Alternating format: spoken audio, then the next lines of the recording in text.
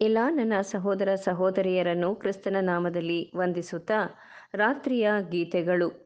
ಮೇ ಹದಿನೈದಕ್ಕೆ ನೇಮಕವಾದ ದೇವರ ವಾಕ್ಯವು ಧರ್ಮೋಪದೇಶ ಕಾಂಡ ಐದು ಒಂಬತ್ತು.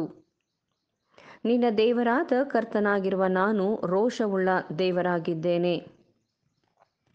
ಮನುಷ್ಯನು ತನ್ನ ದ್ವೇಷ ಮತ್ತು ರೋಷಗಳನ್ನು ದೇವರಂತೆಯೇ ಹೊಂದಲು ಸಾಧ್ಯವಾದರೆ ಅದು ಸರಿಯಾಗಿರುತ್ತದೆ. ನಾವು ದೇವರಂತೆ ಪಾಪವನ್ನು ದ್ವೇಷಿಸಬೇಕು, ಆದರೆ ಪಾಪಿಯನ್ನಲ್ಲ. ದೇವರ ರೋಷವು ನೀತಿಯುಳ್ಳದ್ದಾಗಿದೆ ಮತ್ತು ಪಾಪಿಗೆ ನೀತಿಯುಳ್ಳ ಶಿಕ್ಷೆಯನ್ನು ಕೊಡುವುದು ಖಚಿತವಾಗಿದೆ. ನಾವು ಇತರ ದೇವರುಗಳನ್ನು ಹೊಂದಿರುವಾಗ ನಾವು ತಂದೆಯಾದ ದೇವರು ರೋಷವುಳ್ಳವನಾಗಿರುತ್ತಾನೆಂದು ಪರಿಗಣಿಸಬೇಕು ಎಂದು ಆತನು ನಮಗೆ ಹೇಳುತ್ತಾನೆ. ಆದರೆ ರೋಷದ ಅಸೂಯೆಯ ಅನುಚಿತತೆಯು ಕಹಿ ಮತ್ತು ಇತರ ಗುಣಗಳಿಗೆ ಕಾರಣವಾಗುವುದು. ಅದು ಬಿದ್ದು ಹೋದ ಮನುಷ್ಯನ ಮನಸ್ಸಿಗೆ ಒಳಪಟ್ಟಿರುತ್ತದೆ ಮತ್ತು ಜವಾಬ್ದಾರವಾಗಿರುತ್ತದೆ.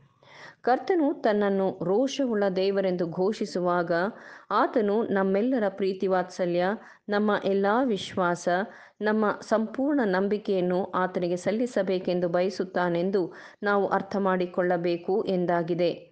ನಮ್ಮ ಜೀವನದ ಎಲ್ಲ ವ್ಯವಹಾರಗಳಲ್ಲಿ, ವಿಚಾರಗಳಲ್ಲಿ ಆತನ ಚಿತ್ತವು ಸರ್ವೋಚ್ಚವಾಗಿದ್ದು, ನಾವು ಆತನೊಂದಿಗೆ ಸಂಪೂರ್ಣವಾಗಿ ಹೊಂದಾಣಿಕೆಯಾಗಿರಬೇಕೆಂದು ಆತನು ಬಯಸುತ್ತಾನೆ. ಇದನ್ನು ಸರ್ವಶಕ್ತನ ವಿಷಯದಲ್ಲಿ ಸ್ವಾರ್ಥವೆಂದು ಪರಿಗಣಿಸಲಾಗುವುದಿಲ್ಲ. ಏಕೆಂದರೆ ಇದು ಆತನ ಆಳ್ವಿಕೆಯ ಅಡಿಯಲ್ಲಿ ಆತನ ಸೃಷ್ಟಿಗಳಿಗೆ ದೊಡ್ಡ ಪ್ರಮಾಣದ ಸಂತೋಷವಾಗಿದೆ.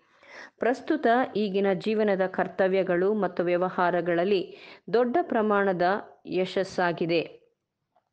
ಇವುಗಳು ಆತನನ್ನು ಪ್ರೀತಿಸುವವರಿಗೆ ದೇವರು ಸಂಪೂರ್ಣವಾಗಿ ಸಿದ್ಧತೆ ಮಾಡಿರುವ ಆಶೀರ್ವಾದಗಳು ಮತ್ತು ವಾಗ್ದಾನಗಳಿಗೆ ಸಿದ್ಧತೆಯಾಗಿದೆ. ಆಮೇನ್.